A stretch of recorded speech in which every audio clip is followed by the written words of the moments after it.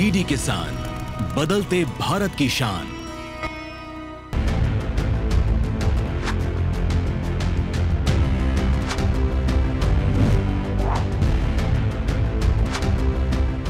जब नाव जल में छोड़ दी, तूफ़ान में ही मोड़ दी। जब नाव जल में छोड़ दी, तूफ़ान में ही मोड़ दी। दे दी चुनौती सिंधु को तो पार क्या, मझधार क्या। और यही कोशिश आप जानते ही हैं हर मंगलवार और गुरुवार को बिना किसी गैप के मैं करता हूँ। नमस्कार, आप देखना शुरू कर चुके हैं आपका अपना फेवरेट शो जिसका नाम है सच के साथ। आपके साथ मैं हूँ घनश्याम उपाध्याय। तो चलिए ना, सच की राह में एक बार फिर हम और आप साथ साथ चलते हैं। कुछ वादों के साथ, कुछ संकल्पों के साथ, कुछ चुनौतियों के साथ भी, और वो सारी चुनौतियाँ सिर्फ़ यहाँ पूरी होती हैं। मैं आपसे हमेशा कहता हूँ कि अतरंगी दुनिया की सतरंगी खबरों से दूर दूर तक हमारा कोई वास्ता नहीं है। हमारा वास्ता, हमारी कंसर्न हमारे सब्जेक्ट सिर्फ़ आप है।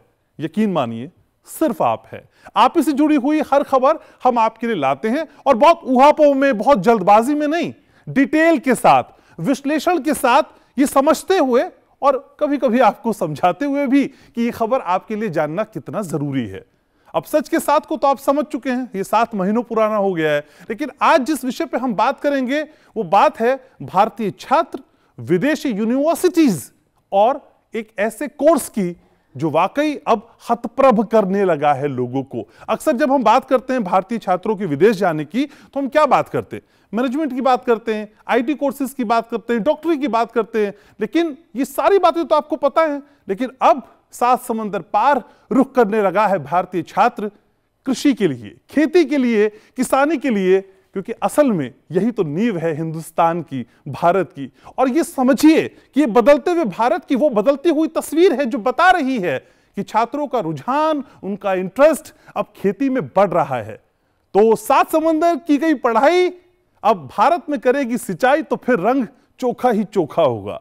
मंगलवार और गुरुवार को इसी रंग को और चटक और प्रगाढ़ बनाने की कोशिश हम करते हैं। हमारी इस कोशिश में आप रहते हैं और इस कोशिश में मेरे साथ, जी हाँ, देश का सर्वोत्तम पैनल रहता है, जो इस रिपोर्ट के बाद आपके साथ जुड़ता है। हमेशा की तरह कहूँगा, मेरे शो की रवायत है कि एक रिपोर्ट आपको दिखाऊँगा, उसके बाद जब लौटूँगा तो फिर अति विशिष्ट मेहमानों का उत्कृष्ट पैनल मेरे साथ होगा। शुरुआत करते हैं इस रिपोर्ट के साथ। आप देख रहे हैं, सच के साथ।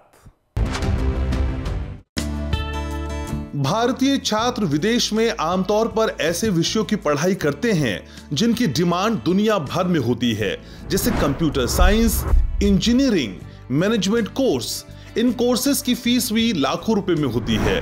भारतीय छात्र इन कोर्सेज पर इतना ज़्यादा पैसा इसलिए खर्च करते हैं, क्योंकि उन्हें मालूम है कि ये कोर्सेज उन्हें आसानी से नौकरी दिलवा देंगे।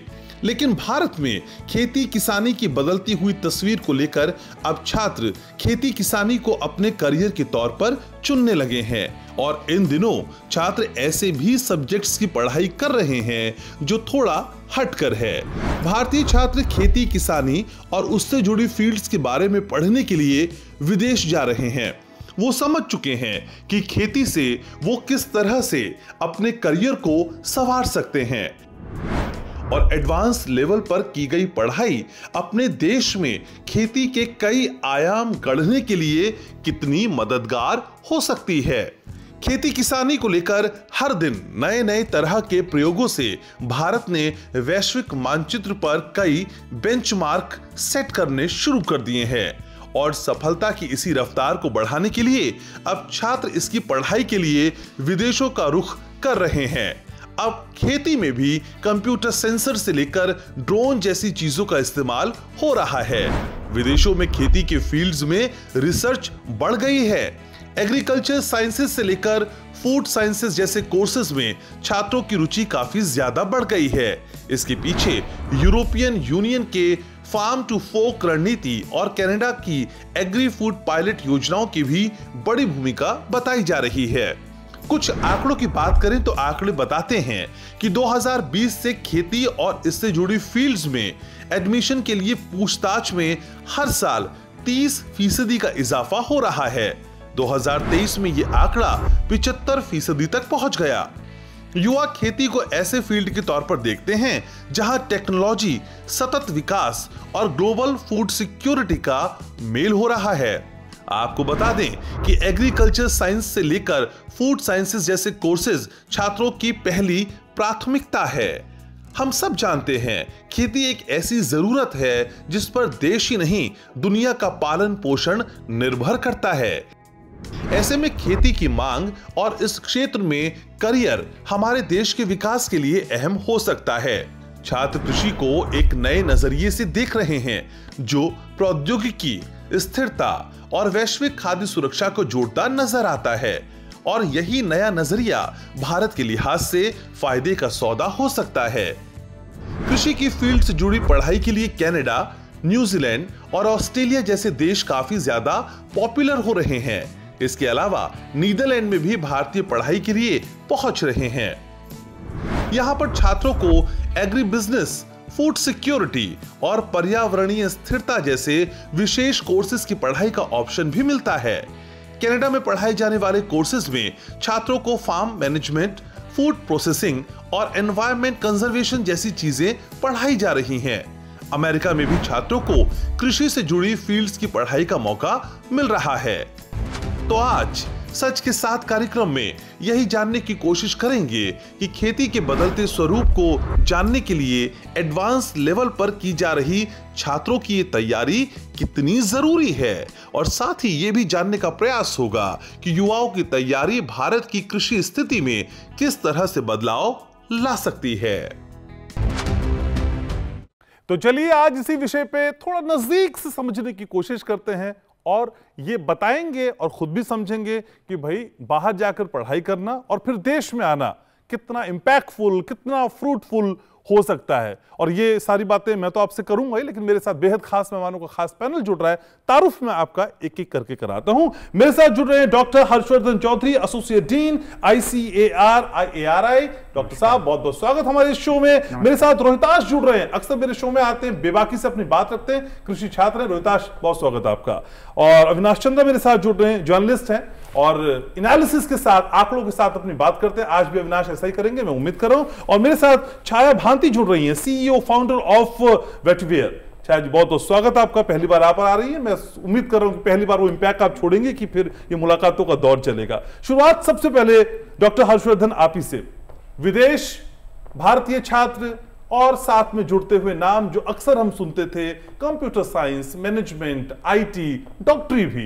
लेकिन अब कृषि पढ़ने के लिए, खेती पढ़ने के लिए कुछ दिनों तक तो ये भ्रांति थी, ये माना जाता था, भाई, खेती किसानी वो कर रहा है जो कुछ नहीं कर पा रहा है। सर, ये बदलते हुए भारत की बदलती और खूबसूरत तस्वीर? है जी हाँ आपने बिल्कुल सही कहा है कि जब हम कृषि की बात करते हैं तो अक्सर पहले हम सोचते थे कि कृषि एक अलग से विषय है।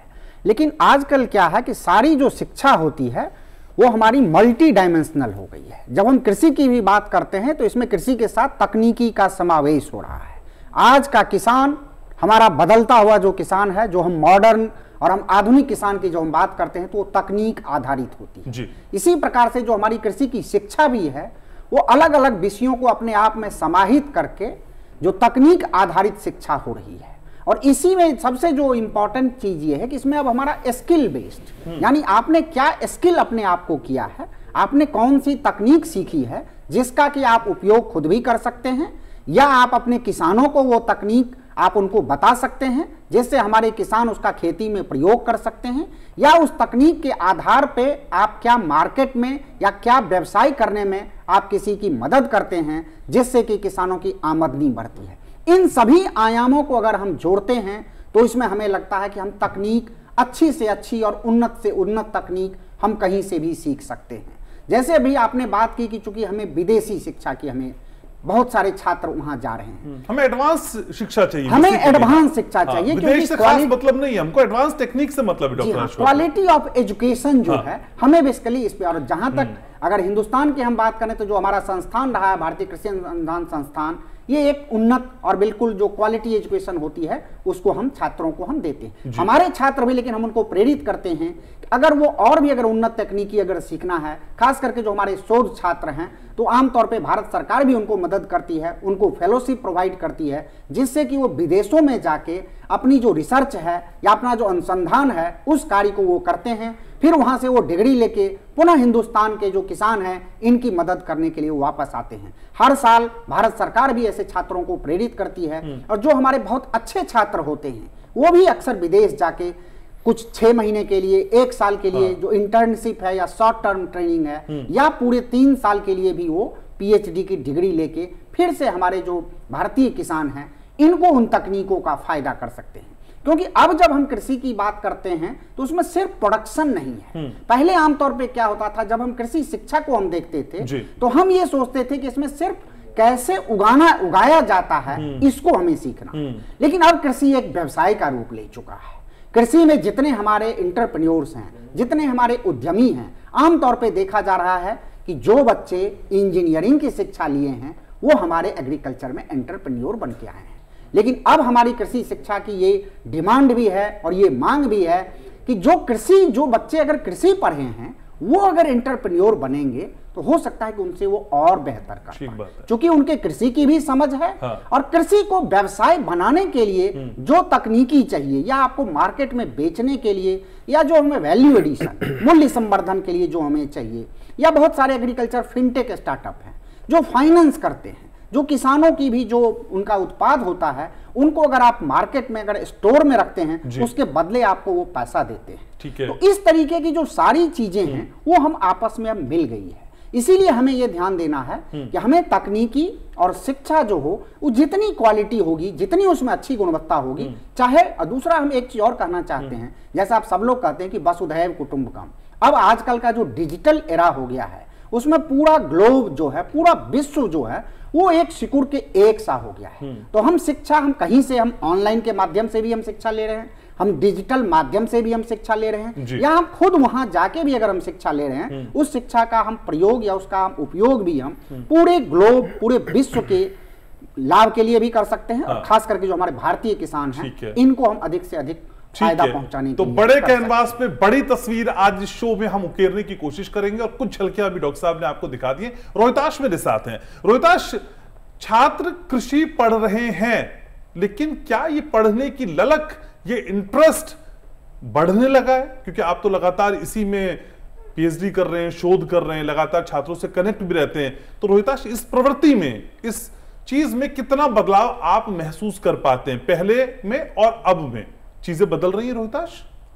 जी सर, आपने बिल्कुल ठीक कहा कि जैसे पहले इतनी अपॉर्चुनिटीज़ नहीं थी बाहर जाने के लिए, पर जैसे कि और जो कंट्रीज़ है वो डेवलपिंग कंट्रीज़ है मतलब हमारा जो इंडिया है वो डेवलपिंग और कंट्री जैसे यूएस वगैरह वो डेवलप्ड है। तो अगर हम वहाँ पे जाते हैं जो स्कॉलर्स हैं जो शोध करता है और वहाँ पे जाकर जिस प्रकार से वो रिसर्च कर रहे हैं अगर उसको हम समझते हैं तो उसके द्वारा अगर उस टेक्निक को हम इंडिया में लेकर आते हैं और वो हमारे किसानों के लिए जो उपयोगी रहती है तो उसके लिए आजकल आईसीआर जो है वो फेलोशिप भी प्रोवाइड करता है। जैसे आईसीआर की इंटरनेशनल फेलोशिप है नेताजी सुभाष फेलोशिप जो कि 30 स्कॉलर्स को पर ईयर प्रोवाइड की जाती है और उसके अंदर 2000 डॉलर्स पर मंथ के अकॉर्डिंग वो फेलोशिप प्रोवाइड की जाती है अच्छा। जिससे कि फाइनेंशियली जो स्टेबिलिटी तो मिलती है हाँ। बट उसके अलावा अपनी जो घर परिवार है वहाँ पर भी पैसे दे सकते हैं और उसके साथ साथ वहाँ पे अच्छा रिसर्च करके अच्छा रिसर्च सीख कर फिर भारत में आकर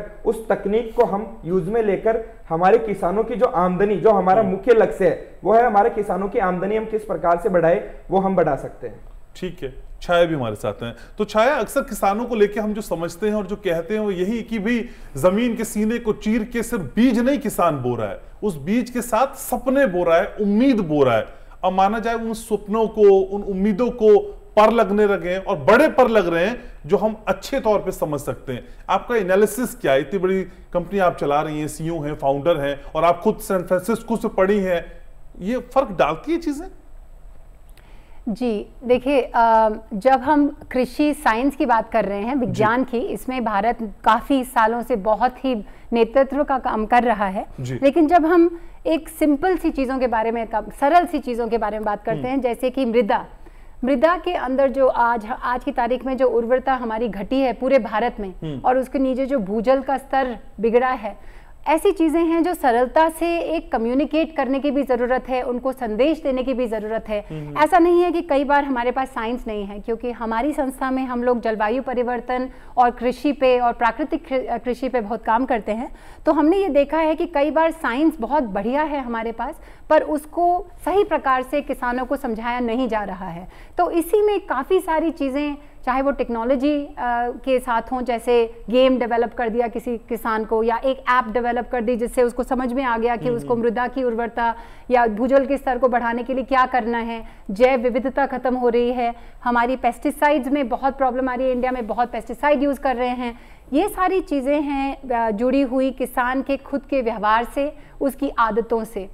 उन आदतों को जब तक हम नहीं बदल सकते और उस साइंस को जब तक हम सही तरह की एडवाइस से नहीं कनेक्ट कर सकते हम्म। तो जो कुछ हम करना चाहते हैं वो एक ऊपरी सतह पे रह जाता है तो जब कृषि के स्टूडेंट्स क्योंकि मैं भी खुद बाहर की पढ़ी हुई हूँ और हम्म। मैं जब आई वापस तो मुझे लगता है कि जो बाहर जाके एक तरह से मल्टी डिसिप्लिनरी अप्रोच जिसको कहा जाता है कि एक इंसान सिर्फ़ कृषि साइंस के बारे में ही नहीं पढ़ रहा है पर उसको बिज़नेस में किस प्रकार से ढाला जाए उसको कम्युनिकेशन में किस प्रकार से ढाला जाए ये सारी स्किल्स की भी बहुत ज़रूरत है इंडिया में वो यहाँ कि नहीं हो पा रहा यहाँ पे बहुत बढ़िया तरीके से हो रहा है पर हम्म। वहाँ पे जाके जब अच्छी तरह से जिसको बोलते हैं एविडेंस लेड कम्युनिकेशन जिसमें आप एविडेंस भी जनरेट कर रहे हो रिसर्च में आपको आत्मविश्वास हाँ। भी आया है कि आपकी क्वालिटी बहुत बढ़िया है इंफॉर्मेशन हम्म। की और आपने काफ़ी सारे टूल्स अपने यूज़ कर लिए हैं जो आपको इस साइंस को किसान के कॉन्टेक्स्ट में उसके संदर्भ में कम्युनिकेट हम्म, हम्म। करने की मतलब एक शक्ति दे रहा है तो मेरे ख्याल से वो एक होलिस्टिक मॉडल निकल के आता है जिसकी कृषि में बहुत ज़्यादा ज़रूरत है लेकिन शायद माइंडसेट होता है।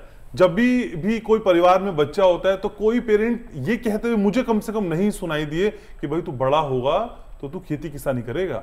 अक्सर हम बच्चों को ये कहते हैं भाई तू डॉक्टर बनेगा इंजीनियर बनेगा या कुछ और फ़ील्ड बताते हैं। लेकिन अब जो ये परसेप्शन बदला है और जैसे खुद आप एक एग्ज़ाम्पल हैं इतनी बड़ी संस्था चला रही हैं इस परसेप्शन के बदलने में क्या हम वो सारी कामयाबी हासिल कर चुके हैं जो एग्जैक्ट कामयाबी के फिगर तक हमको ले जाता है या अभी धीरे धीरे धीरे कुछ बदलाव हो रहे हैं जो कुछ कुछ समय में हम पूरी तरीके से समझ पाएँगे या देख पाएँगे जी देखिए इसमें बदलाव तो हो रहे हैं हम्म। एक तरफ़ ज़रूरत है एक तरफ़ एक प्रकार की देशभक्ति भी है और अच्छा। एक तरफ़ है बिज़नेस अपॉर्चुनिटी हम्म। वो तीनों चीज़ें एक तरह से कन्वर्ज कर रही हैं। नीड है। क्योंकि क्लाइमेट चेंज के इम्पैक्ट्स बढ़ते जा रहे हैं। हमारे जलवायु परिवर्तन के पूरे मतलब इम्पैक्ट्स हमारे किसान बहुत ज़्यादा जूझ रहे हैं उस हम्म। चीज़ से।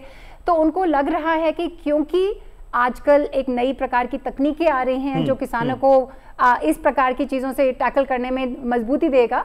तो कई लोग समझ रहे हैं कि अब टेक्नोलॉजी को समझ के शायद इन प्रॉब्लम्स को सॉल्व किया जा सकता okay. है इसलिए इस ज़रूरत के लिए hmm. काफ़ी नई फील्ड्स तैयार हो रही हैं जिसमें स्टूडेंट्स अग्रसर हैं आगे जाने के लिए hmm. ये मैं नहीं कहूँगी कि कृषि की सारी फैमिलीज़ अब कह रही हैं कि चलिए कृषि भी बहुत बढ़िया फ़ील्ड है इसमें hmm. अभी चुनौती है थोड़ा आगे जाके इसमें काम करने की ज़रूरत है लेकिन इसका उत्तरदायित्व हमारे ऊपर पड़ता है जो लोग बिजनेसेस को इन्फ्लुएंस कर सकते हैं क्योंकि कृषि में एक हाँ। बहुत बड़ी अपॉर्चुनिटी भी है टेक्नोलॉजी को सही प्रकार से यूज़ किया जाए और मिट्टी की उर्वरता बढ़ाई जाए जल का एक प्रकार से संरक्षण किया जाए तो ये काफ़ी हद तक भारत नेतृत्व पूरे दुनिया में दे सकता है इस चीज़ पर। ठीक है। अविनाश जी मेरे साथ है। अविनाश आखिर में आपके पास आने का अक्सर मेरा मकसद यही होता है कि सारी चीज़ें आए फिर उसका एक डीप एनालिसिस कुछ फिगर्स के साथ करें। एक फिगर है मेरे पास अविनाश जो बताती है कि 2020 में कृषि फ़ील्ड से जुड़े हुए छात्रों ने जो इंक्वायरी की, पूछताछ की, भाई कहा क्या हो सकता है, किस तरह का कोर्स हो सकता है, उसकी संख्या 30 प्रतिशत थी।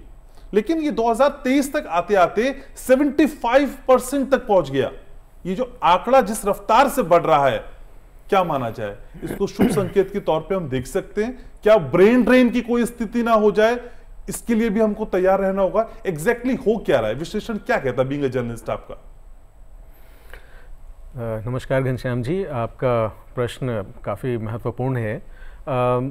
देखिए हमेशा से ही जो जो पाठ्यक्रम चुनने की बारी आती है और जब कोई छात्र जिसने अच्छी पढ़ाई करी है कॉन्वेंट स्कूल से पास आउट रहा है वो आमतौर पर कृषि जैसे विषयों को कम ही चुनता रहा है।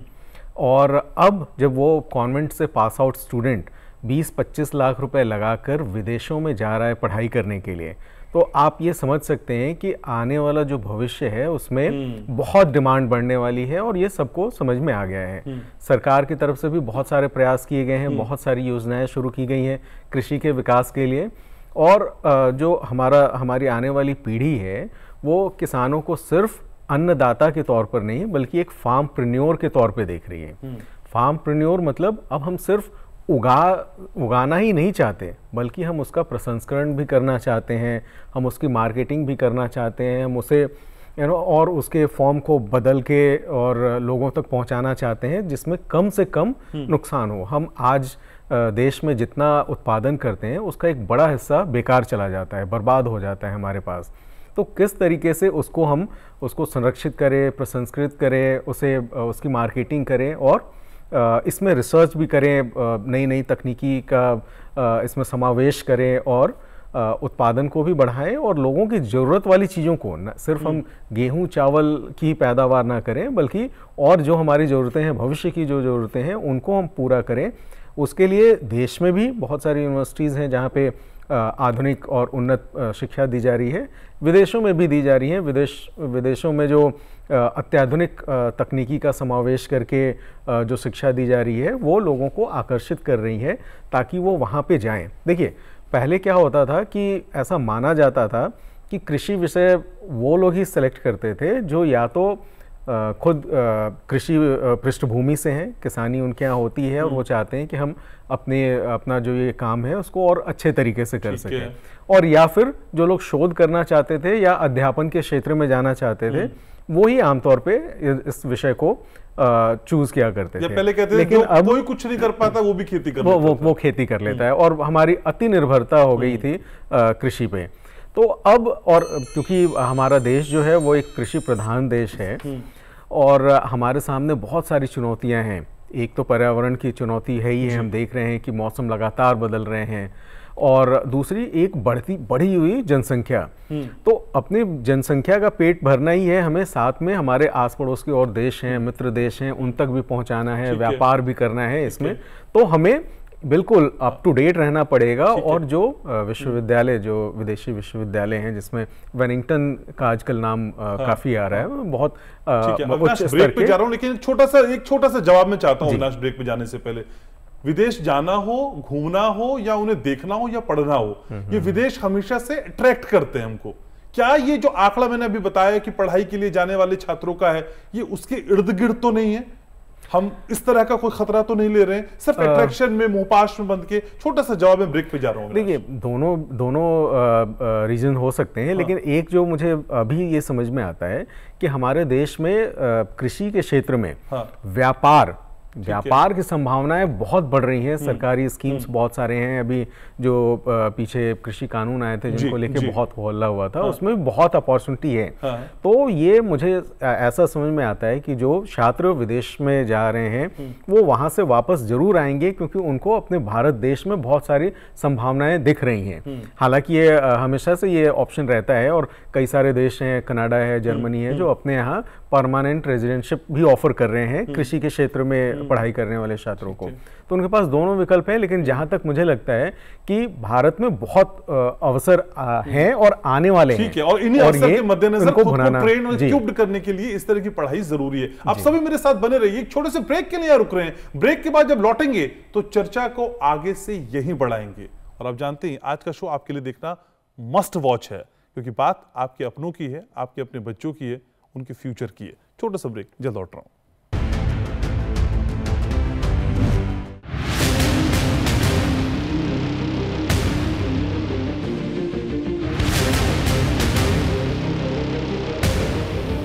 जब तपती है धरती, सूरज उगलता है आग। ठंड में जब सर्दी जमा देती सबके हाल।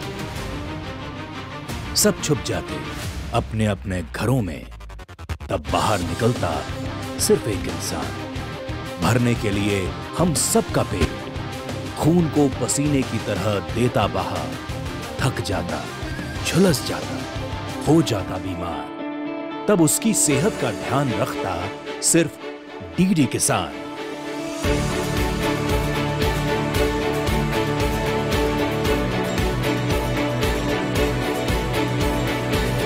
देखिए स्वस्थ किसान, शनिवार शाम छह बजे लाइव, सिर्फ़ दूरदर्शन किसान चैनल पर।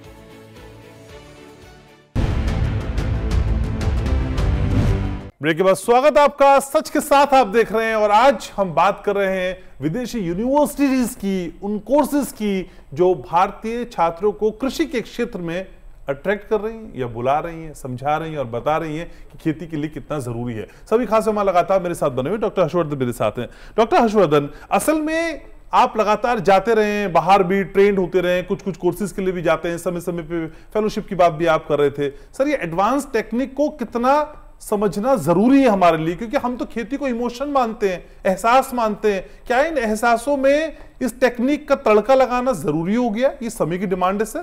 डॉक्टर हर्षवर्धन? जी हाँ आपने बिल्कुल सही कहा है। तो कृषि में जो तकनीक का समावेश है, ये बहुत ही महत्वपूर्ण है। और जो हमारी सरकार है, वो हमेशा से इस बात को प्रेरित करती है, किसानों को भी प्रेरित करती है, छात्रों को भी प्रेरित करती है। और जो हमारे कृषि के संस्थान हैं, उनको भी हमेशा इस बात के लिए सहायता देती है और प्रेरित करती है कि अच्छी से अच्छी तकनीकी का हम विकास करें। या जो पूरे विश्व में कहीं भी अगर कोई अच्छी तकनीकी अगर संभव है अगर उपलब्ध है उस तकनीकी को हम अपने यहाँ लाएँ और हम अपने किसानों के मदद के लिए यहाँ के खेती के परिदे परिवेश के लिए उसको हम परिमार्जित करें। यानी उसको हम थोड़ा मॉडिफाई करें और जिससे कि वो जो तकनीक है वो हमारे किसानों के लिए अधिक से अधिक उपयोगी बने। जहाँ तक हम कृषि शिक्षा की बात करते हैं जो हमारी अभी न्यू और नेशनल एजुकेशन पॉलिसी आई है 2020 में। इसका भी हमें जो मुख्य उद्देश्य है सबसे मुख्य उद्देश्य ये है कि शिक्षा जो होनी चाहिए वो इंक्लूसिव होनी चाहिए। हाँ। यानी समाज के हरेक तबके को शिक्षा मिलनी चाहिए। उसके बाद है इसकी गुणवत्ता यानी क्वालिटी शिक्षा सबको मिलनी चाहिए। क्वालिटी कैसे बढ़ती है? जब कोई भी संस्थान या कोई भी विश्वविद्यालय अगर रिसर्च आधारित होता है यानी अगर अनुसंधान आधारित अगर वो शिक्षा हम अपने छात्रों को देते हैं तो शिक्षा की गुणवत्ता हमें बढ़ती है। उसके साथ साथ हमें हमारी सरकार जो है हमारे सारे संस्थानों को इस बात के लिए सहयोग करती है कि आप विदेश की जो भी अच्छी से अच्छी यूनिवर्सिटी हैं उनके साथ आप अपना लिंकेज बनाएँ उनके साथ आप अपना तकनीकी सहयोग बनाएँ और उनके साथ भी हम मिल के भी हम कई बार हम शिक्षा देते हैं। जैसे उदाहरण के लिए मैं बताऊँगा हमारा जो भारतीय कृषि अनुसंधान संस्थान है हम लोगों ने विश्व की कई ऐसी यूनिवर्सिटीज हैं उनके साथ हमने टाइप किया है और हम उनको डुअल डिग्री देते हैं। यानी जो छात्र हमारे संस्थान में जिनका एडमिशन होता है उनको हम एक डिग्री हम अपने संस्थान की भी देते हैं अच्छा। और दूसरी डिग्री जैसे हमारा एक वेस्टर्न सिडनी यूनिवर्सिटी के साथ हमारा एक डुअल डिग्री का प्रोग्राम है। अच्छा। तो जो हमारे छात्र हमारे यहाँ अंडर ग्रेजुएट कोर्सेज में जो हमारा चार साल का होता है। बीएससी एग्रीकल्चर या बीटेक इन बायोटेक्नोलॉजी और इस तरह के अनेक कोर्सेज हैं। बीटेक इन एग्रीकल्चर इंजीनियरिंग या इन कम्युनिटी साइंस इन छात्रों के लिए ये भी एक मौका होता है कि वो तीन साल की शिक्षा हमारे यहाँ करेंगे और एक साल की शिक्षा जो है वो विदेश की यूनिवर्सिटी में करेंगे। और वो आप ही वो आप ही तय करते हैं सर कहा जाएँगे किस विश्वविद्यालय में जाएँगे कुछ विश्वविद्यालयों के साथ हमारा एक टाइप होता है। जैसे उदाहरण के तौर पे मैंने बताया वेस्टर्न सिडनी यूनिवर्सिटी के साथ। साथ जिनके बेसिस पे हम उनको डुअल डिग्री देते हैं। हैं यानी उनको हमारे संस्थान की भी डिग्री मिलेगी और हमने उनको जो जो कोर्सेज पढ़ाए हैं जो बाहर का विश्वविद्यालय होता है हाँ, हाँ। वो इन कोर्सेज को मैपिंग करते हैं अपने उनके यहाँ की डिग्री के हिसाब से।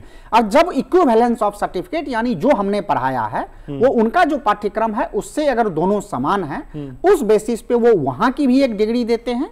जैसे हमारे यहाँ से कोई छात्र अगर करता है तो चार साल के अंदर उनको हमारे यहाँ का बीएससी इन एग्रीकल्चर मिलेगा और वहाँ का बीएस इन बायोलॉजी वो ब्रॉडर डिग्री है। उन छात्रों के लिए एक और जो फ़ायदा होता है कि वहाँ जाके अगर वो मास्टर्स करना चाहें तो सिर्फ़ एक साल में वो मास्टर्स कर सकते हैं। अच्छा। जैसा हम इंटीग्रेटेड मास्टर्स कोर्स कहते हैं। यानी पाँच साल के अंदर उस छात्र को तीन डिग्री मिल जाएगी। एक हमारे संस्थान की डिग्री मिलेगी बीएससी इन एग्रीकल्चर और बायोटेक और इंजीनियरिंग उसको उस संस्थान की एक बीएस इन बायोलॉजी मिलेगी और वहाँ से एक साल और अगर वो छात्र वहाँ विदेश में रहता है तो उसको वहाँ से भी एक मास्टर्स इन जिस सब्जेक्ट में वो करना चाहे उसको डिग्री मिल सकती कितना फ़र्क लगता है सर पाठ्यक्रमों में? आप वहाँ की भी बात कर रहे हैं देखिए इसीलिए मैं आपको बताना चाहता हूँ कि जो हमारे संस्थान जो हमारा करिकुलम होता है, है। उसको विदेशी जो हमारे विश्वविद्यालय हैं हम्म। उन्होंने भी उसको माना है कि जो इक्विवेलेंस है हाँ। जो उन छात्र को जैसे हमने तीन साल पढ़ा दिया वो उनके लिए इक्विवेलेंस है। हाँ।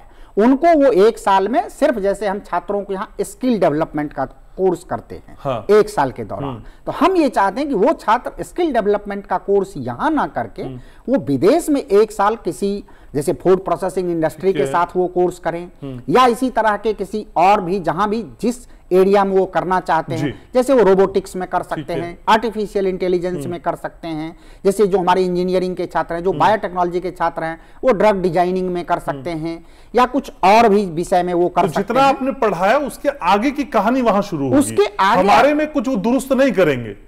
जी हाँ पढ़ाई जो थ्योरी पढ़ाना है हाँ। वो उनका कंप्लीट हो चुका ओके। है जो उनको स्किल चाहिए जी। उस तरीके की स्किल अगर वो हाँ वो सीख के आते हैं या फिर उसके बेसिस पे अपना वो रिसर्च करके अगर मास्टर्स डिग्री अर्न करते ठीक। हैं तो उनके लिए बहुत सारी अपॉर्चुनिटी और भी खुल सकती है ठीक है सर दूसरा एक चीज़ और हाँ, मैं थोड़ा सा कहना चाहूँगा कि जो कृषि है अभी हमारे सारे को पैनलिस्ट ने कहा हाँ।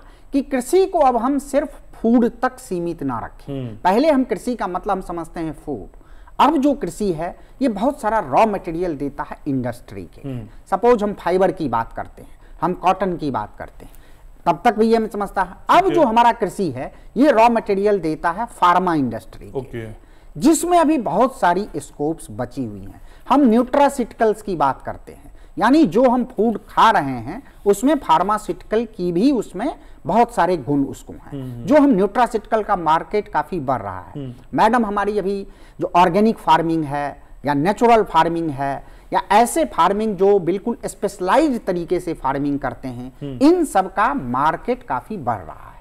और मार्केट की जब हम बात करते हैं तो सिर्फ़ हम इंडियन मार्केट की बात नहीं करते। हैं अब हमें ग्लोबल मार्केट को देखना है और ग्लोबल मार्केट की जो भी डिमांड है उसके रॉ मटेरियल हम किस कम कीमत में अगर हम पैदा करके भेजते है। हैं। तो हमारा एग्रीकल्चर ठीक है सर तो इस तस्वीर के कई रंग हैं जो आज डॉक्टर साहब यहाँ पे बता रहे हैं। सर अभी समय और है फिर मैं आपको मौका दूँगा तो फिर और हम बातें विस्तार से करेंगे। रोहिताश मेरे साथ हैं। तो रोहिताश डॉक्टर हर्षवर्धन जितनी बातें समझा रहे हैं क्योंकि आप छात्रों के बहुत नज़दीक रहते हैं छात्रों में रहते हैं। तो ये बातें छात्रों को पता है कि किस तरह के कोर्सेज हैं जो कुछ पढ़ाई यहाँ फिर आगे की पढ़ाई वहाँ फिर कितने अवसर सृजित हो रहे हैं कई नए व्यवसाय की तरफ़ बढ़ सकते हैं। ये अवेयर हैं छात्र? ये जो डेटा मैंने बताया था अविनाश को ब्रेक से पहले क्या ये और उसी और इशारा करता है?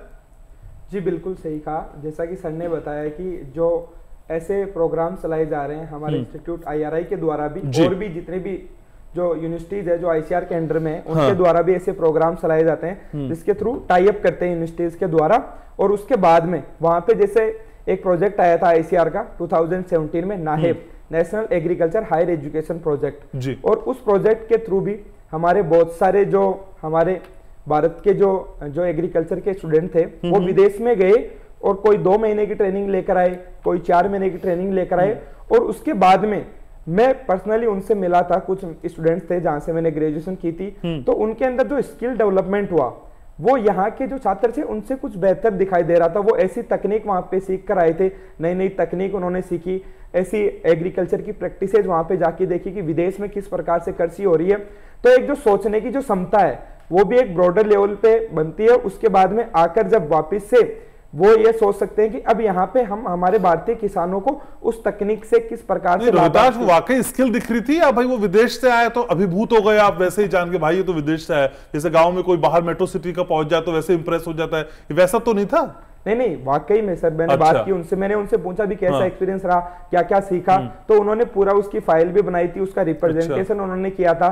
तो वाकई दिखाई दे रहा था और वहाँ के जो और जो दूसरे जो उनके जूनियर्स थे वो भी काफ़ी उससे इंस्पायर हुए और हम्म। क्योंकि उसके लिए जो ओजीपी है उसकी रिक्वायर्ड होती है जो टॉप बच्चे थे उन्हीं को मौका मिलता है। तो वो भी उसके बाद में मेहनत करने लगे ताकि हम भी एक बार जाके आए और चीज़ों को सीखे और वापिस आके यहाँ पे जो हमारे जूनियर्स है उनको सिखाए। हम्म, ठीक है। छाया जी भी हमारे साथ हैं। तो छाया जितनी बात हम अभी करते हुए नज़र आ रहे हैं विदेशी पढ़ाई को लेके अगर भारत के मूल में इन सारी चीज़ों को समझने की कोशिश करें तो पहली वजह आपको क्या नज़र आती है? क्या जो हमारी देश की सत्ता जिनके हाथ में है, जो काबिज हैं उस पर जो देश को चला रहे हैं, ये उनकी सोच को भी इंगित करती है? ये बताती है कि देखिए, कृषि के प्रति अब हमारा नज़रिया बदल गया है। हम सकारात्मक होने लगे हैं और ये समझने और समझाने लगे हैं कि कृषि फ़ायदे का सौदा है जो अब तक नहीं समझाया जाता। और सिर्फ़ कहा नहीं जाता है अब तो आप जानती हैं सिर्फ़ एसी रूम में बैठ के चर्चा नहीं होती बल्कि उसको उसी हिसाब से तैयार किया जाता है जो किसानों की रिक्वायरमेंट है। ये उसी और इशारा करता है क्या जिस बदलते हुए भारत की मैं बात कर रहा था? जी बिल्कुल बिल्कुल। उसी उसी प्रकार जैसे इन्होंने सर ने कहा कि अब ये सिर्फ़ कृषि एक रॉ मटेरियल का सोर्स है हम्म। हमारी पूरी इंडस्ट्री के लिए। तो जब हम सोचते हैं कि हम्म। किस प्रकार कौन सी स्किल्स लेने के लिए सबसे ज़्यादा बच्चे जा रहे हैं टेक्नोलॉजी हम्म। उसमें सबसे काफ़ी ऊपर होती है। फिर रिसर्च रिसर्च लैब्स क्योंकि हमें जैसे हाइब्रिड सीड्स बनानी है। अगर भारत को नेतृत्व देना है फ़ूड प्रोडक्शन का तो उसमें हमें यील्ड भी बढ़ानी है हम्म। हमारी मिट्टी की उर्वरता भी बढ़ानी है साथ ही साथ पानी को भी बचाना है तो एक मैं और ऐड करना चाहूँगी कि आजकल कार्बन की काफ़ी बात हो रही है कार्बन हाँ। क्रेडिट्स को लेके हम्म। जिसमें कृषि के अंतर्गत कृषि में एग्रो फॉरेस्ट्री जिसको बोला जाता है पेड़ वगैरह उगा के किसान कार्बन को भी किस प्रकार से ज़मीन पे रोक कर उसके भी एक तरह से नया मूल्य पैदा कर सकता है तो, तो ये चीज़ हम बाहर ही जाके सीखेंगे यहाँ नहीं सीख पाएँगे हम यहाँ सीख सकते हैं अच्छा। पर जो काफ़ी ज़्यादा जो क्लाइमेट फाइनेंस जिसको कहा जाता हम्म। है जो पैसे आने हैं जैसे जो बच्चे एग्री बिज़नेस पढ़ने जा रहे हैं उनको इस प्रकार के इश्यूज़ के बारे में समझना बहुत ज़रूरी है क्योंकि ताकि जो भी कंपनीज़ हैं जो यहाँ काम कर रही हैं हम्म। जो किसानों के साथ जुड़ के कार्बन पे भूजल संरक्षण पे एक होलिस्टिक वे में काम कर रही हैं उनके लिए भी इस प्रकार के प्रतिनिधि पैदा हो जाएँगे हम्म। तैयार हो जाएँगे हम्म, जो इस प्रकार की इंटरनेशनल कॉन्वर्सेशन जिसको बोला जाता है क्रॉप इंश्योरेंस वगैरह जिसमें क्लाइमेट फाइनेंस बाहर से आना बहुत ज़रूरी है इन सब चीज़ों को लेकर हम लोग और भी गवर्नमेंट के जो मैंडेट्स हैं ऑर्गेनिक एग्रीकल्चर के डिजिटल एग्रीकल्चर मिशन के वो सब हम बच्चे जो जा रहे हैं हम्म। पढ़ के वो सपोर्ट कर पाएँगे हम्म।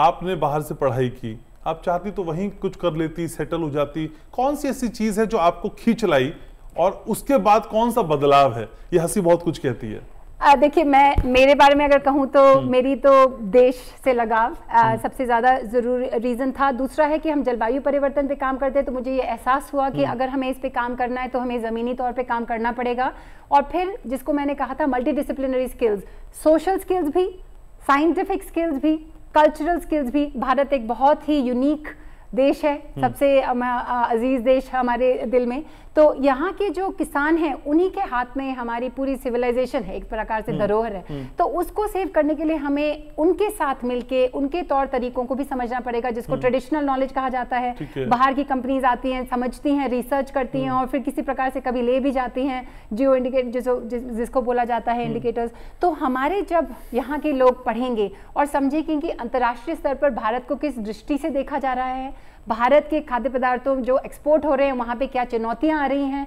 और ज़मीनी तौर पे भारतीय किसान को क्या ज़रूरतें हैं? हम्म। जिसमें मैं महिला किसानों की ज़रूरतों को भी मान डालना ज़रूरी करूँगी जेंडर इंक्लूसिविटी जिसको बोला जाता है। हाँ। इन सब चीज़ों को जब हम एक ब्रॉड लेंस से देखते हैं तो वो अलग अलग स्किल्स का एक हमें एहसास होता है कि ये चाहिए साथ हम्म। में। एक यू नो साइंटिफिक के साथ साथ तो हम्म। ये सब तौर तरीके समझ के जिस प्रकार से मैं भी उसी चीज़ों को लेके आई हूँ और मैं चाहती हूँ कि जितने भी बच्चे यहाँ से जाएँ वो एक पढ़ना है लेकिन लौट कर आना है। ठीक है। अविनाश मेरे साथ अविनाश ब्रेक पे जाने से पहले आप ही के पास में आता हूँ।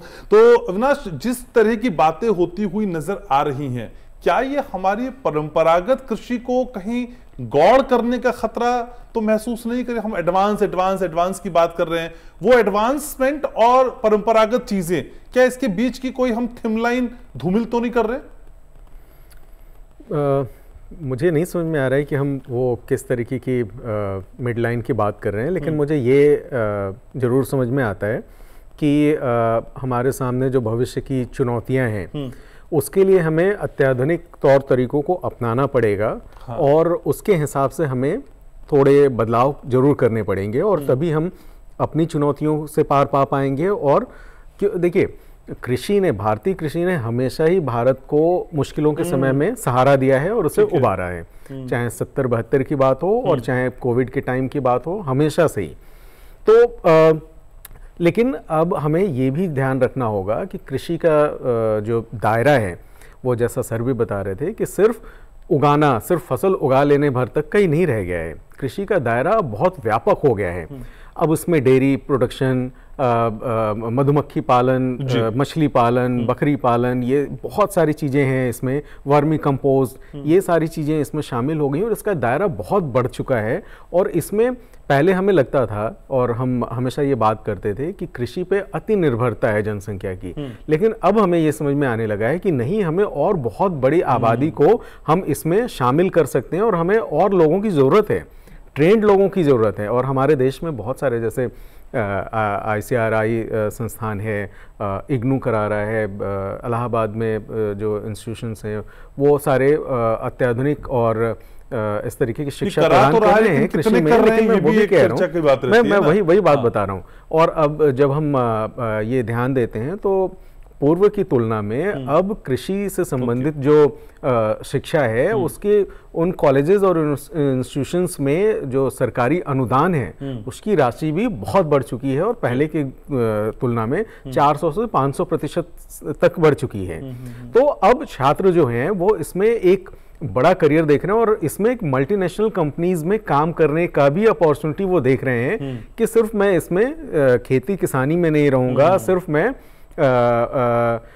जो शोध कार्य में नहीं रहूँगा बल्कि जो एक सपना देखता है कि एक no blue collar type job के लिए या फिर मल्टीनेशनल कंपनी में मैनेजमेंट का काम है और सारी चीज़ों का जो सपना देखता है वो हम्म। इस विषय के साथ भी हो सकता है। दूसरी चीज़ ये कि जैसे सरकारी बहुत सारे स्कीम्स हैं जैसे एफपीओ है ठीक है। है ना? तो उसमें सीईओ की ज़रूरत है उसमें बहुत सारे ट्रेंड हम्म, लोगों की हम्म, ज़रूरत है कि कैसे वो ऑर्गेनाइजेशन जो किसानों के हैं। वो फ़ायदा कमा सकते हैं। उनके लिए जो पढ़े लिखे और इस हम्म। विशेषकर इस क्षेत्र में जो ट्रेंड लोग हैं उनकी काफ़ी ज़रूरत है। ठीक है तो वो एक्सपर्टीज के लिए हमको बाहर जाना होगा। अविनाश माफ़ी के साथ रुक रहा हूँ ब्रेक के लिए मुझे असल में जाना है। एक छोटे से ब्रेक के लिए यहाँ रुक रहे हैं। ब्रेक के बाद लौटेंगे तो चर्चा को यहाँ से आगे समझने की कोशिश करेंगे। आखिरी पड़ाव है चर्चा का बहुत अहम है आपको जुड़े रहना है और हमेशा से मुझको विश्वास है आप हमेशा से मेरे साथ है।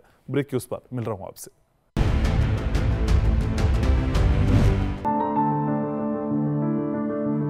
फ़सल में कीट लगा हो या कोई बीमारी पशुपालन में हो कोई दिक्कत या चाहिए कोई जानकारी फ़ोन उठाएँ नंबर मिलाएँ और कहें हेलो किसान। हेलो किसान। हेलो किसान। हेलो किसान सोमवार बुधवार और शुक्रवार शाम 6 से 7 बजे सिर्फ़ डीडी किसान पर। तो आखिरी कुछ मिनट इस चर्चा के ब्रेक के बाद आपका स्वागत। और ये कुछ मिनट बहुत सारगर्भित होने वाले हैं, बहुत प्रासंगिक हैं आज की चर्चा के लिए तो आपको मेरे साथ कुछ मिनट का साथ और निभाना है। सभी खास हमारा लगातार मेरे साथ बने हुए डॉक्टर हर्षवर्धन मेरे साथ है। डॉक्टर हर्षवर्धन, असल में जब हम बात करते हैं फार्म टू फोक की, और बात करते हैं यूरोपियन यूनियन के इस फार्म टू फोक की तो ये जो कॉन्सेप्ट है, कहीं में पढ़ रहा था, इसकी वजह से विदेशों में छात्रों का जाना, वहाँ अवसरों का पैदा होना, और वहाँ के लिए ललायित होना एक बड़ी वजह है। सर एग्जैक्ट कॉन्सेप्ट क्या है? देखिए जब हम फार्म टू फोर्क की बात करते हैं जी। तो एक्चुअली ये कंप्लीट वैल्यू चेन होता है। Okay. Complete value chain means from production to consumption जहाँ फार्मर इसको प्रोड्यूस करता है फिर वहाँ पे आते हैं कि प्रोड्यूस करने के तरीके क्या क्या होते हैं।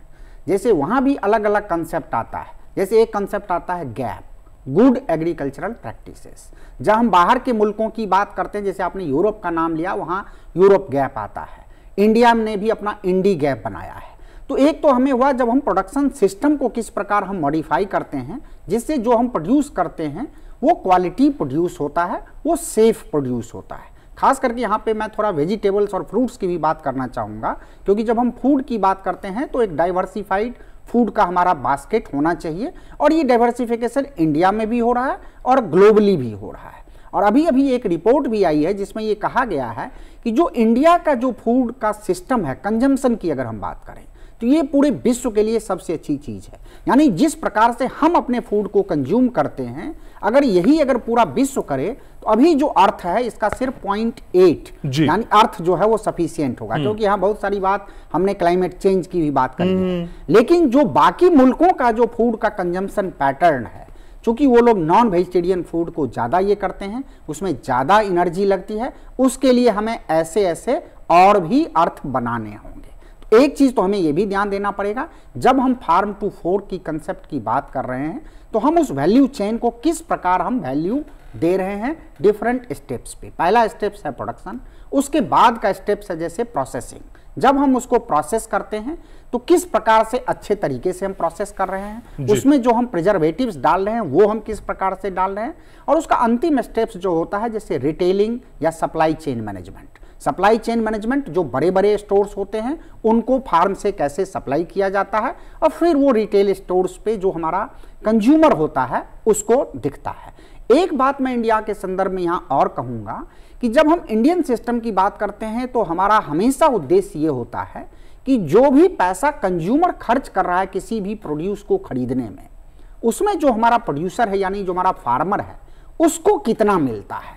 हमारा हमेशा उद्देश्य ये होता है कि जो कंज्यूमर रुपी यानी एक कंज्यूमर अगर एक रुपया अगर खर्च कर रहा है तो उसमें जो फार्मर का शेयर है वो कितना हम उसको बढ़ा सकते हैं जिससे हमारा फार्मर भी बेनिफिट होगा और उसी विश्वास पे वो कंज्यूमर को एक क्वालिटी प्रोड्यूस दे सकता है। यहाँ पे चर्चा हुई कि हम जो हमारे प्रोडक्ट होते हैं कई बार उसमें विदेशों में जब जाता है एक्सपोर्ट मार्केट में तो वहाँ पेस्टिसाइड की प्रॉब्लम आती है पेस्टिसाइड रेसिड्यू की प्रॉब्लम आती है। हमारे को उतना सेफ़ नहीं माना जाता है। जब हम टेक्नोलॉजी की बात करते हैं तो हम उन्हीं टेक्नोलॉजी पे उन्हीं कंज्यूमर डिमांड पे क्योंकि हमारा मार्केट बाहर का भी मार्केट है। यानी जो ग्लोबल मार्केट है तो वहाँ जो हमारे लिमिट हैं उस लिमिट में हम किस प्रकार से अपने फ़ूड को प्रोड्यूस करेंगे जिससे हमारी फ़ूड की जो डिमांड होगी पूरी ग्लोबली होगी और क्वालिटी फ़ूड दूसरी एक चीज़ मैं थोड़ा सा और बताना चाहूँगा कि जो फ़ूड है ये बेस्ड ऑन ट्रेडिशन कस्टम्स लेकिन जो मॉडर्नाइजेशन होता है उससे भी चेंज हाँ, होता है। हम बहुत सारे फ़ूड को अपने यहाँ खा रहे हैं जो। पहले बाहर था जैसे एवोकेडो है, है। उसी प्रकार से कीवी है उसकी हाँ। डिमांड हमारे यहाँ बढ़ रही है। हाँ। हम उन चीज़ों को प्रोडक्शन कर रहे हैं कमलम है जो ड्रैगन फ्रूट है। लेकिन हमें भी ऐसा करना है कि जो हमारे फ़ूड है जो इंडिजिनस फ़ूड है जैसे अपना बेल है जैसे अपना आंवला है जैसे अपना बेर है उनको हम किस सक्सेस के साथ हम बाहर के मार्केट में उनको आंवला कैंडी या आंवला के दूसरे प्रोडक्ट के सर तो ये बड़ी तस्वीर है लेकिन समय मेरे पास थोड़ा कम है सर तो थोड़ी थोड़ी बातें हम आगे बढ़ाएँगे। और रोहिताश भी मेरे साथ है। तो रोहिताश छात्रों से जब आप वन टू वन करते हैं इंटरेक्ट करते हैं और आपकी तो बड़ी फ़ैन फॉलोइंग है छात्रों में पता है मुझे। तो छात्र क्या बोलते हैं? कौन से कोर्स उनको ज़्यादा अट्रैक्ट करते हैं? कौन सी यूनिवर्सिटीज हैं? कौन सी कंट्रीज़ हैं? जहाँ जाना उनकी पहली प्रायोरिटी होती है?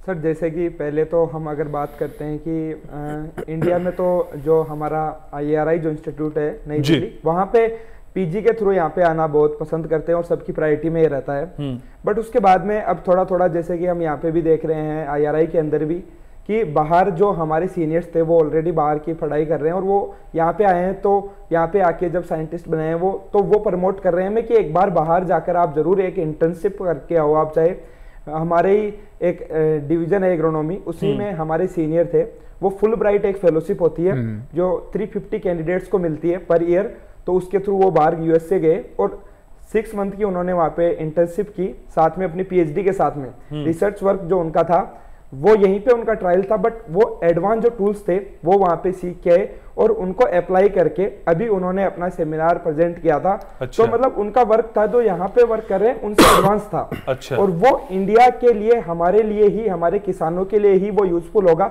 तो उसी प्रकार से हमारे जो कलीग्स है हमारे जो जूनियर्स है हम भी उनको प्रेरित करते हैं हम्म। कि आप भी कुछ एडवांस टूल सीखने के लिए एडवांस जो टेक्नोलॉजी सीखने के लिए एक बार ज़रूर आप विदेश जाए और उसके लिए आईसीआर भी फेलोशिप प्रोवाइड करता है और भी बहुत सारी फेलोशिप्स है।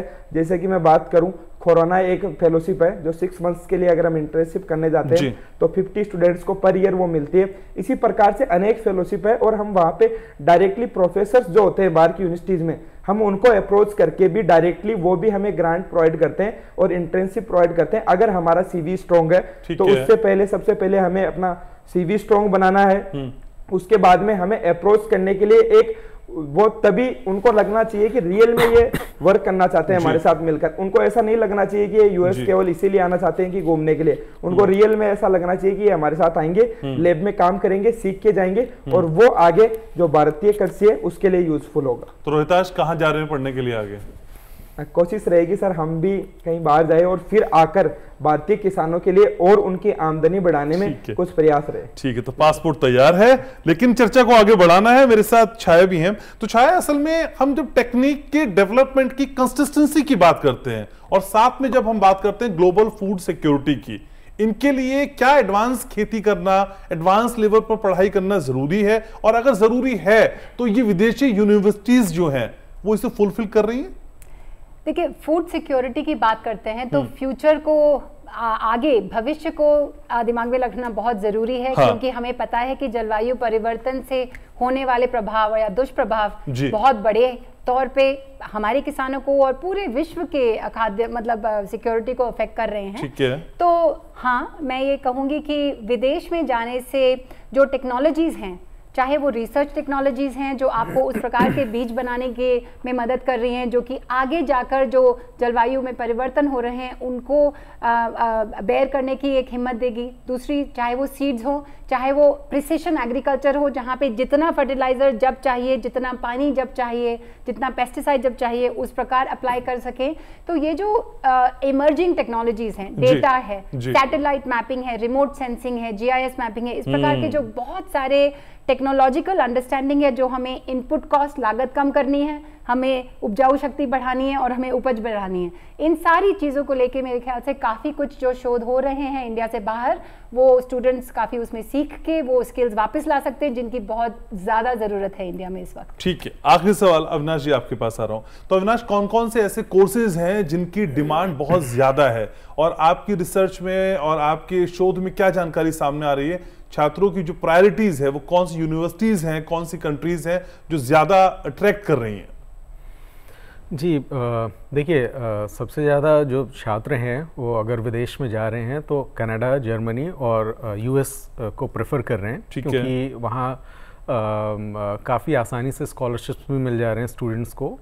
और जैसा मैंने पहले भी बताया कि वो अपने यहाँ छात्रों को अपने यहाँ खुद भी रखने के लिए वो तैयार हैं और उनको परमानेंट रेजिडेंटशिप भी ऑफ़र कर रहे हैं। तो बहुत सारे ऐसे प्रोत्साहन दिए जा रहे हैं इन देशों के द्वारा वो छात्रों को आकर्षित कर सके। दूसरी चीज़ ये कि छात्र भी अब ये समझ चुके हैं कि सबसे ज़्यादा अपॉर्चुनिटी अपने देश में ही है। देखिए इसका दो फ़ायदा है। एक तो विदेशों में क्या है कि वहाँ पे कृषि या जो उच्च शिक्षा है उसको सिर्फ़ एक नौकरी पाने के हिसाब से नहीं देखा जाता। वहाँ का मतलब है कि अगर आप हायर स्टडीज़ में हैं तो इसका मतलब आपकी कुछ नया करेंगे कुछ रोज़गार आप सृजित करेंगे दूसरों के लिए और लोगों को व्यवसाय देंगे व्यवसाय को बढ़ाएँगे वहाँ पे नौकरी पाने के लिए पढ़ाई हायर स्टडीज़ मैंने बहुत कम छात्रों से बात करते हुए ये सुना है कि अच्छा। वो। चाहते हैं कि कहीं नौकरी सरकारी मिल जाए तो जब छात्र यहाँ से जाएँगे और वापस जब भारत में आएँगे तो वो सिर्फ़ एक नौकरी पाने के तरीके से नहीं देखेंगे बल्कि वो चाहेंगे कि वो भी एक फार्म प्रन्योर बन सकें। जैसा मैं एक उदाहरण दे रहा हूँ। जी जी। कुछ सालों पहले आईआईटी दिल्ली से पास आउट एक समस्तीपुर बिहार के एक किसान हैं। वो उन्होंने आईआईटी दिल्ली से पढ़ाई पूरी की और फिर माइक्रो फाइनेंस बिज़नेस सेक्टर में वो लगे और उन्होंने वहाँ से कुछ पैसे अच्छे कमाए। वापस वो समस्तीपुर गए उन्होंने दूसरों से किराए पे ज़मीन ली और वहाँ पे आजकल उनका फल का अच्छा। वो खेती कर रहे हैं और। लीची और केले आम बहुत सारा वो उगा रहे हैं और क्योंकि उन्होंने उसकी शिक्षा ली हुई है और उनको वो अच्छे तरीके से अवेयर हैं कि उनकी चीज़ों का प्रोडक्शन कैसे हो सकता है कहाँ कहाँ हो सकता है वो डायरेक्ट विदेशों में भेजते हैं अपने फलों को।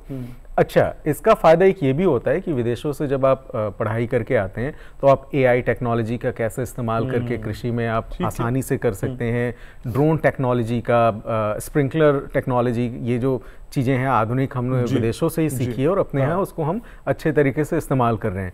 तो वो कौन कौन से नए नए आधुनिक यंत्र हैं तक, तकनीक है तरीके हैं जिनका हम प्रयोग करके और अपने देश में हम किस, खेती किसानी को बढ़ावा दे सकते हैं ठीक है। और इसमें ज़्यादा से ज़्यादा लोगों को समावेशित कर सकते हैं इसका काम वहाँ से किया जा है। सकता अक्सर हम कहते हैं और सुनते हैं कि जो प्राप्त है वही पर्याप्त है लेकिन यहाँ कॉन्सेप्ट थोड़ा सा अलग है। उसके लिए आपको और बड़ा होना होगा। समय कम है, लेकिन ख्वाब बहुत बड़े हैं। इन ख्वाबों को पूरा करने के लिए हमें कोशिशें भी बड़ी करनी होगी, लेकिन कार्यक्रम को मुझे समेटना है। समेटने से पहले आप सभी का बहुत बहुत शुक्रिया। आपने समय निकाला, चर्चा में आए। Thank you so very much तो आज का ये अंक आपको पसंद आया होगा। सच के साथ बोलने की जो कोशिश है, वो हम और आप साथ साथ कर रहे हैं। और ये साथ यूँ ही चलता रहेगा। अनवरत प्रयास हम और आप मिलकर करते रहेंगे। आप हमारे साथ जुड़े रहिए, देखते रहिए डीडी किसान हर। रहा थोड़ी देर में इस प्रोग्राम का लिंक आपके YouTube चैनल के ज़रिए आप देख सकते हैं और देखिएगा, बताइएगा, समझाइएगा कि कैसा लगा और आप कमेंट ज़रूर करिएगा। मुझे आपके कमेंट का बेसब्री से इंतज़ार रहता है। देखते रहिए डीडी किसान।